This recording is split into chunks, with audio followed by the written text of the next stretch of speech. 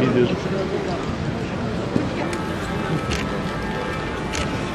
gözaltında kaybedilişinin 31. yılında İbrahim Demir ve Agit Akipa için adalet istiyoruz.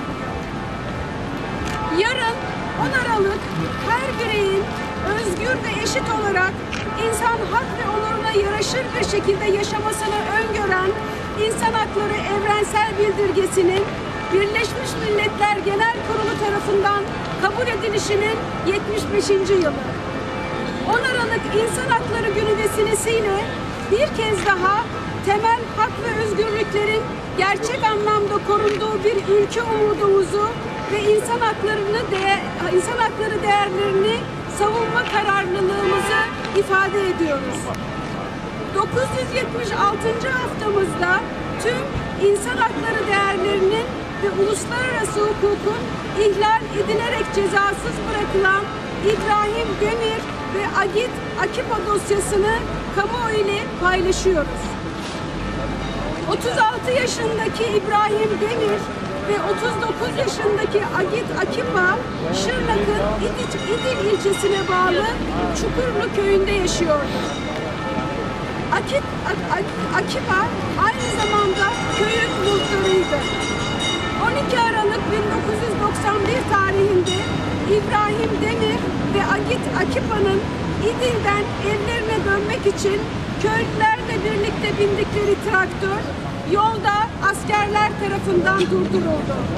İbrahim Demir ve Agit Akipa Dargeçit Anıtlı Tabur Komutanlığı'na bağlı Ağaçlı mezrasında bulunan Piyade Bölük Komutanı ve askerleri tarafından gözaltına alındı. Jandarma karakoluna giden ailelere karakol komutanı onları hiç görmedik dedi.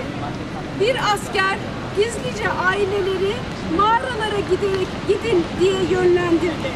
Aileler köylülerle birlikte askerin işaret ettiği bölgeyi karış karış aradı.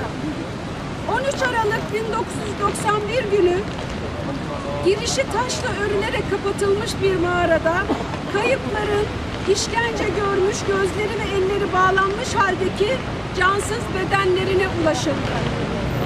Olay hakkında başlatılan soruşturmada İdil Cumhuriyet Başsavcılığı Ağaçlı mezrasında bulunan Piyade Bölük Komutanı Üstes Üsteğmen ve ilgili er ve erbaşların adam öldü- öldürme suçundan şüpheli olduğuna kanaat getirdi. Ancak Dargeçit Kaymakamlığı İlçe İdare Kurulu savcılığa soruşturma izni vermedi. yıldır biz adalet istiyoruz. Aileleri cezalandırmak istiyoruz. Bu e, Galatasaray meydanımızı e, sadece bir iki aileyle değil, bütün aileyle beraber burada oturmak istiyoruz. tüm insanlarımız için adalet istiyoruz. Ee, kanımızın son damlasına kadar e, adaletle yürüyüşümüz devam edecek. Hepinizi selam.